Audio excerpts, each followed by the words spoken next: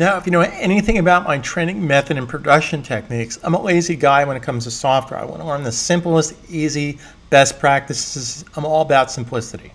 Now, with that in mind, what I mean is I want to now see this. I'm just going to close this out for a second. I want to see the different types of options that I have built into the Ultimatum theme just as a look-see, and then I can maybe build from there. So here's what we can do. I'm going to go back to my theme templates. Now, we can do a variety of different things. We can basically create some other templates, but we can just do this on the fly so you don't have to jump through hoops here. So I'm just going to go to the Edit menu, and if you remember from the first part of this video, right now I have my Ultimatum Responsive Design theme.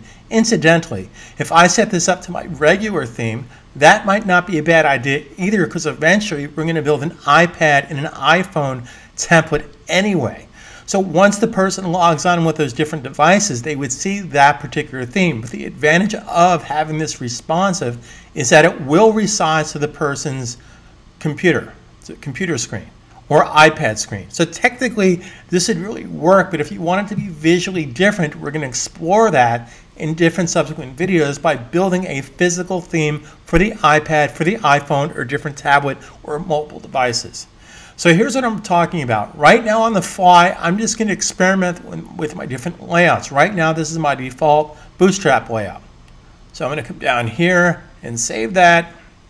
Come up here, refresh the page, and there is my default Bootstrap layout, which is no different than my original theme because that's kind of what it looks like by default. However, if I go and pick a different, like say, this journal theme, Again, this all comes out of the Bootstrap 3.0. If you basically go online and look for Bootstrap 3.0, you will see these themes.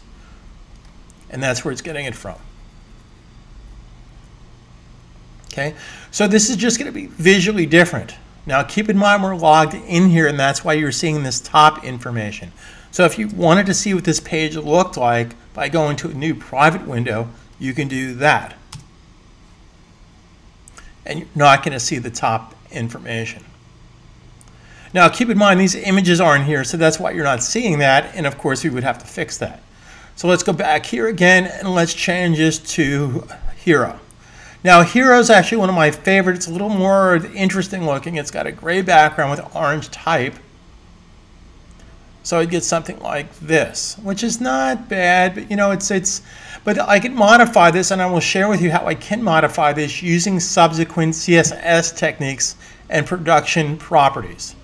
So if I come down here to pizza, then there is my pizza. If I come down here to beverages, there's beverages. Now, if you wanted to do this, if you wanted to physically select a different layout, so therefore when you're on beverages, you're going to see the beverage slideshow. Or when you're on pizza, you will see a pizza slideshow. Or when you're on pasta, you're going to see a pasta slideshow. What you would have to do is define that particular page to have that particular layout. Now, what do I mean by that? Well, let's go back into here for a second. And let's go in here to our pages. Okay, and this, what I'm about to share with you, by the way, this is a WordPress thing. That's nothing to do with Ultimatum right now. This is a WordPress thing. So right now, our pizza menu, if I edit that, it's defaulting to our default layout. Now, what is our default layout? Well, our default layout is whatever we set up here by default.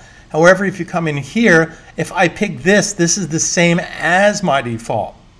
Okay, I want to share that, I want to really drive that message home. Right now, this is my default layout. In fact, that's the only layout that I have currently. But if you had different layouts, then you can choose. In fact, let's actually do this, and we'll do that in our next video. What I want to do is target different slideshows for that particular uh, menu item. So with pizza, I want pizza, this pizza slideshow to come up first. For pasta, I want the pasta slideshow to come up first. So we'll do that in our next video.